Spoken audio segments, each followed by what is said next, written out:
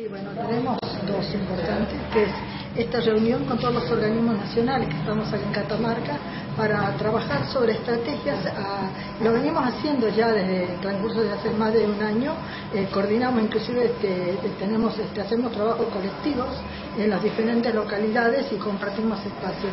El objetivo de todos los organismos nacionales es trabajar sobre este, las políticas públicas nacionales y más en este momento donde se están este, manejando dos proyectos políticos.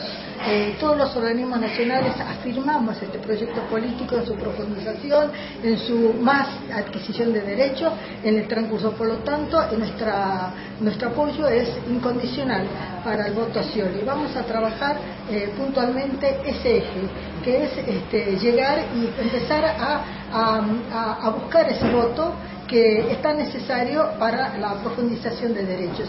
Y por otro lado, eh, estamos a la tarde con el, Consejo de la Diversidad de la Municipalidad trabajando en el CEPAVE de Alto Choya, donde juntamente con la comunidad para sensibilizar sobre los derechos adquiridos de las personas con diversidad, de la diversidad sexual, los, este, los avances que se hizo en la provincia y también las, las cosas que todavía falta para lograr. Pero sobre todo el trabajo en contacto de este grupo bastante este, heterogéneo, juntamente con INARI, el Consejo de la Diversidad y otros organismos de la sociedad civil, que trabajamos en la visibilización y en la adquisición de derechos de este colectivo de la diversidad. Y por supuesto estaríamos, estaremos también difundiendo el proyecto político nacional y todo lo que significa el votación.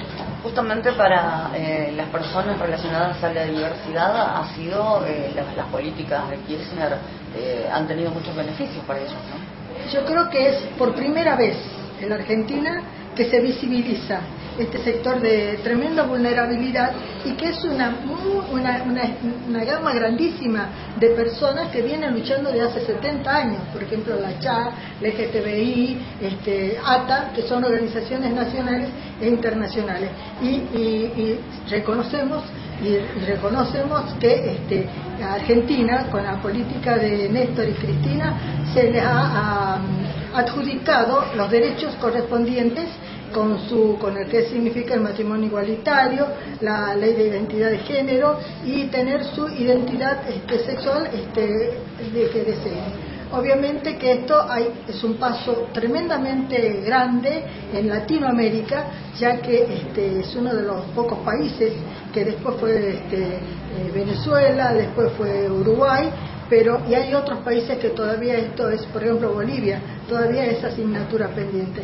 Y nadie está trabajando, nuestra intervención a nivel nacional en Bolivia, en la, en la, estructuración y la visibilización de lo que significa el INADI como organismo nacional que lleva adelante todas las políticas públicas adquiridas en esta década y que eh, trabajan sobre la discriminación, como discriminación como raíz violencia.